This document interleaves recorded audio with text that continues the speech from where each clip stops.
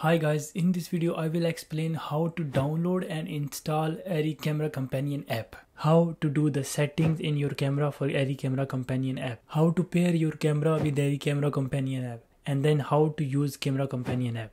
To download Arri Camera Companion app, you go to Arri website and then go to tools and look for Arri Camera Companion app.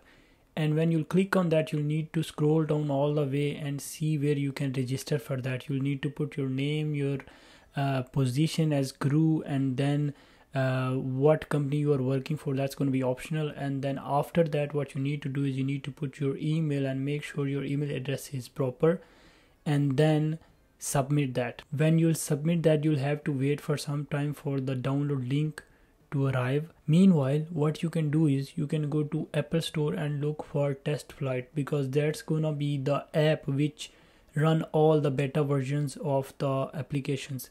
So this Arri camera companion is in beta version for now. So you'll have to download test flight before installing it because otherwise you cannot install.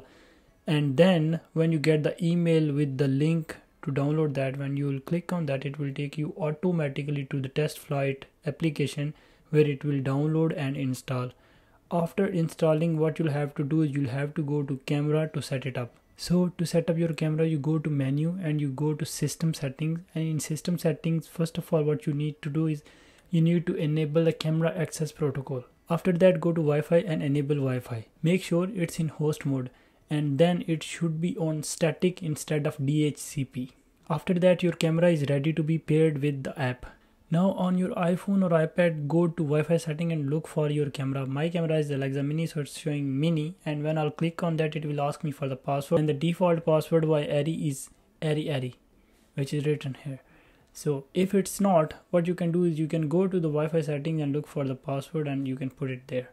After that, Wi-Fi should be connected and it should show the Wi-Fi sign before you go to open the Arri com Camera Companion app and when it shows that it's connected go to Arri Camera Companion app open it and then create a new project. Where you're gonna go to create a new project it's gonna show you something like this where you need to first of all put the project name and then it's gonna have a prompt already and then it's gonna give you an option to auto connect through Wi-Fi. Select these options and the camera should pop out under like this.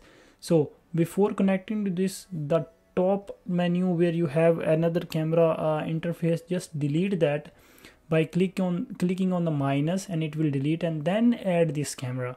When you add this camera it will be ready to be saved. When you save it will open the camera settings.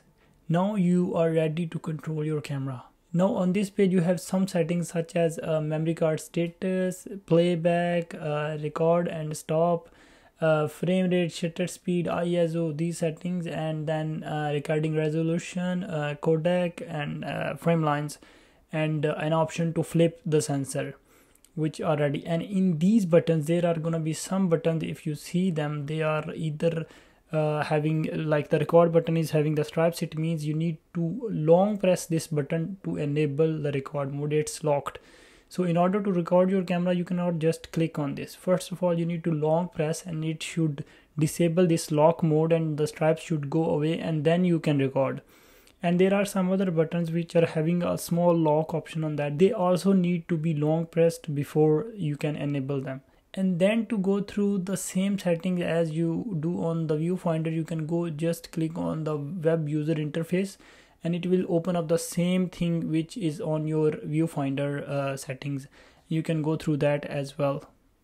I hope this video was helpful for you. If it was please give it a thumbs up and don't forget to subscribe my channel for more amazing videos like this